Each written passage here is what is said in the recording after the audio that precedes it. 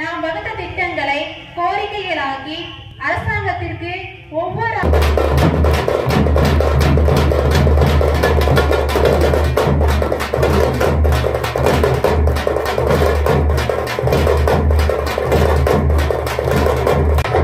விதவை பெண்கள் வாழ்வுரிமை சங்கம் சார்பாக உலக கைம்பெண்கள் தினத்தை முன்னிட்டு கைம்பெண்கள் பொதுக்கூட்டம் நாகையில் நேற்றிரவு நடைபெற்றது.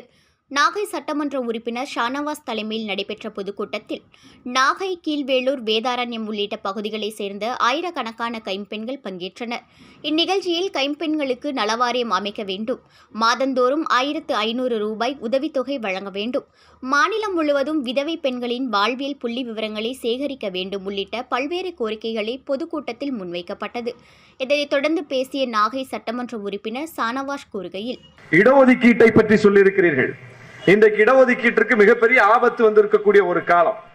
இந்தியாவில் இருக்கக்கூடிய ஒன்றிய அரசு எல்லா இடஒதுக்கீட்டையும் நீர்த்து போக செய்யக்கூடிய அளவுக்கு அதை ஒன்றுமில்லாமல் ஆக்கக்கூடிய முயற்சிகளை செய்து கொண்டிருக்கிறார்கள். பொதுத்துறை நிறுவனங்கள் இந்த நாட்டில் திட்டமிட்டு அளிக்கப்படுகிற ஒரு காலம்.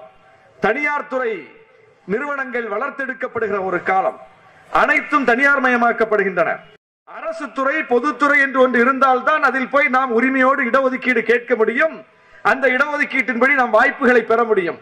அரசு துறை ஒழிக்கப்பட்டு பொதுத்துறை ஒழிக்கப்பட்டு தனியார் கைக்கு அனைத்து துறைகளும் மாற்றப்படும் போது தனியாரிடம் போய் இடஒதுக்கீடையும் கேட்க முடியாது அவன் தரவும் மாட்டான். ஆனால் இன்றைக்கு இருக்கக்கூடிய ஒன்றிய அரசு திட்டமிட்டு எல்லா துறைகளையும் தனியாரிடம் ஒப்படைத்துக் கொண்டிருக்கிறார்கள். இடஒதுக்கீடு மிகப்பெரிய கேள்விக்குறியாகி கொண்டிருக்கிற காலம். இப்படிப்பட்ட காலத்தில் அந்த எஞ்சி இருக்கிற இடங்களிலாவது இப்படிப்பட்ட கைவிடப்பட்டவர்களுக்கு வாய்ப்பை கொடுங்கள் இடஒதுக்கீட்டை கொடுங்கள் என்கிற அந்த கோரிக்கை மிக முக்கியமானது.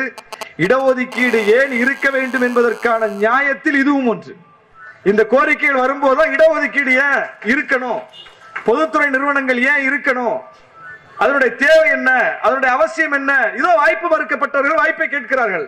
அப்ப அங்க இடம் இருந்தாதான் இவங்களை கொண்டு அங்க கொடுக்க முடியும். அந்த இடமே ஒழிக்கப்பட்டு விட்டால் அது இடஒதுக்கீட்டுக்கு எதிரானதல்ல இடஒதுக்கீட்டை ஒழிப்பதல்ல. இந்த மக்களையே ஒழித்து கட்டுவதற்கு சமமானது.